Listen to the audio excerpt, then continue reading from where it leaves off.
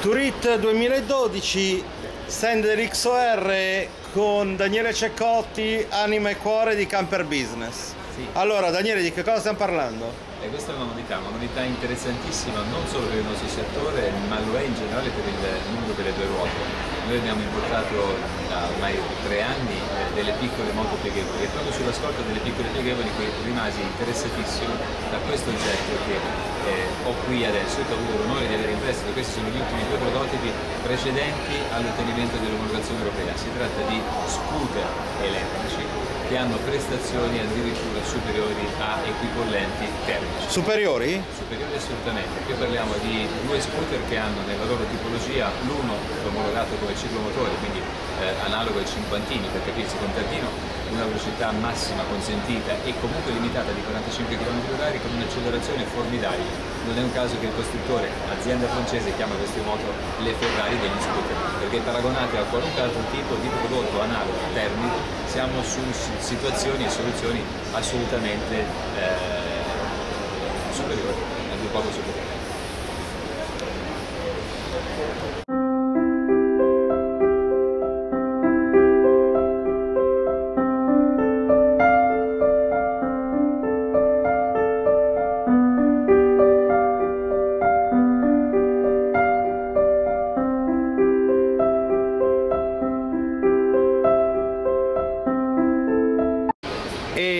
Dicevamo di questi scooter che sono praticamente pieghevoli, oltre ad essere completamente elettrici. Anche pieghevoli. Allora, completamente elettrico già significa velocità, silenzio, no inquinamento, no bollo per 5 anni, possibilità di entrare nei centri storici o comunque in tutte le città dove ci sono limitazioni del traffico. Questo credo che sia uno dei requisiti indispensabili oggi per chi va, ha, ha bisogno di un oggetto che abbia eh, utilizzo quotidiano per lavoro, per la professione, per lo studio, ma anche credo che siano tantissimi quelli che hanno già da tempo abbandonato le automobili per andare a recarsi al lavoro o a studiare con uno scooter.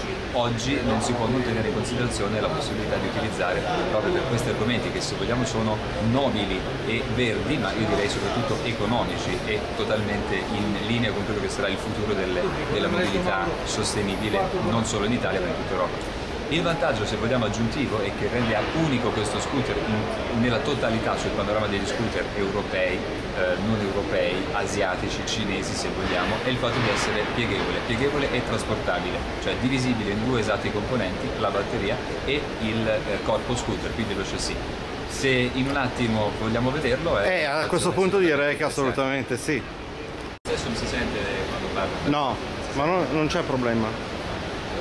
Allora, si rimuove il palco batteria, lo scooter a questo punto è a terra. Il palco batteria non è nient'altro che un trolley, un trolley di dimensioni assolutamente normali. Lo lasciamo da una parte ed è autonomo.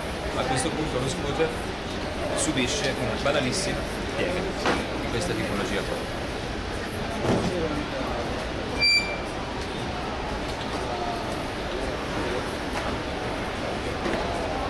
Passa davanti.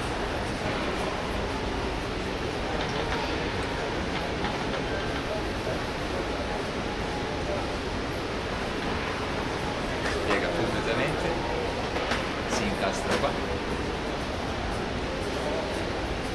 e con una praticissima maniglia lo scooter è trasportabile.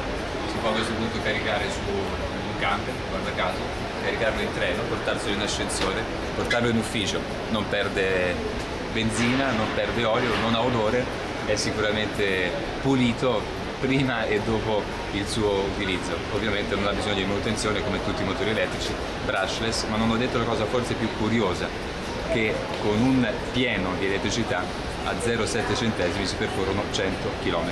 È l'autonomia minima garantita da questa batteria che ha i polimeri di litio ad alta densità, equivalente alle batterie dei telefonini, solo la differenza che pesa 30 kg la batteria e 53 kg lo scooter. Che tra l'altro è facilmente apribile e chiudibile, come abbiamo visto, quindi a prova anche di cervello di donna. a prova di cervello di donna ma a prova di taglia perché è uno degli scooter che ha la plancia pari quindi completamente adatta per trasportare borse, equipaggiamenti e soprattutto un baricentro bassissimo che consente al modello 8 kW di raggiungere una velocità di 120 km/h. In quel caso, preferito a uno scooter, se vogliamo, tradizionale e convenzionale, permette le due autonomie, due range d'autonomia in città 100 km con una carica di batteria fuori città con velocità di crociera di circa 80-90 km e addirittura 85-90 km di autonomia. Sì, ecco, in questo periodo la, la velocità di crociera avrei detto una velocità media o qualcos'altro perché non mi sembra il caso, ma vista la novità e vista l'importanza della novità te la lasciamo passare. Grazie. Grazie.